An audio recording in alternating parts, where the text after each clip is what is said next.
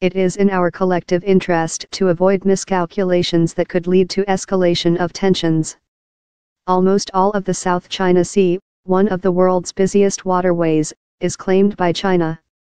Taiwan and four ASEAN nations, Malaysia, Vietnam, the Philippines, and Brunei, have competing claims. Leaders from China, the United States and seven other nations are joining ASEAN at their annual summit. On Sunday, Philippine President Rodrigo Duterte suggested that, despite their differences, the leaders should not discuss the South China Sea. We have to be friends, the other hotheads would like us to confront China and the rest of the world on so many issues, Duterte said at a business conference. The South China Sea is better left untouched, nobody can afford to go to war.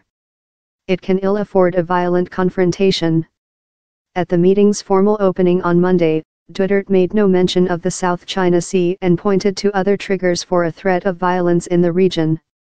Terrorism and violent extremism endanger the peace, stability and security of our region because these threats know no boundary, he said.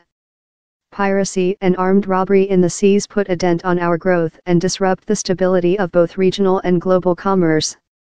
The menace of illegal drug trade continues to endanger the very fabric of our society.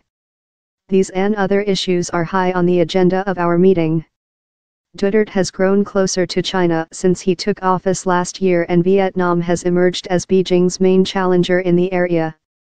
China's move to pressure Vietnam to stop oil drilling in a disputed area in July brought relations between the communist neighbors to a low. But on Sunday, Vietnam's state television said Chinese President Xi Jinping had told Vietnam's General Secretary Nguyen Phu Trong he wanted to work with Southeast Asian nations on a code of conduct in the sea. China's Xinhua news agency said China and Vietnam had agreed to properly handle maritime issues and strive to maintain peace and stability.